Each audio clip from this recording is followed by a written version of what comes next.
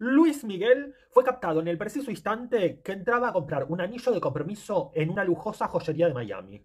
No, chicas, no es este, este es de los baratitos. Hace unos días nada más los paparazzi ya lo habían fotografiado ingresando en las playas de Miami junto a Mercedes Villador. Ella eh, tiene 42 años, es argentina, precisamente de Misiones, y es nutricionista. Y es quien estaría captando el amor de Luismi hace ya casi un año. Ella es Mercedes Villador, se las presento, la tenemos acá de frente para que la conozcan. Ella vivía en Acapulco, México, pero cuando lo conoció a Luismi se empezaron a enrollar, se mudaron a su mansión en Miami.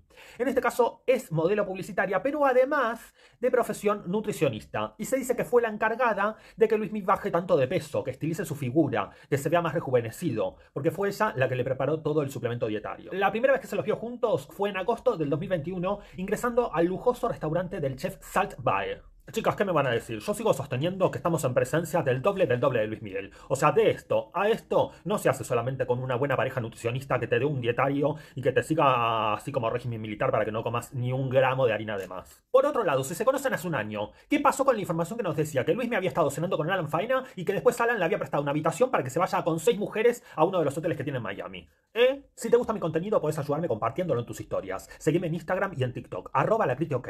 Soy la Criti. Solo quiero que me amen.